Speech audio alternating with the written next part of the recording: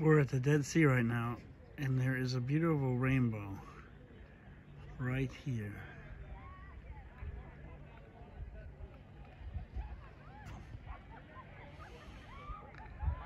It's pretty rare that it rains at the Dead Sea.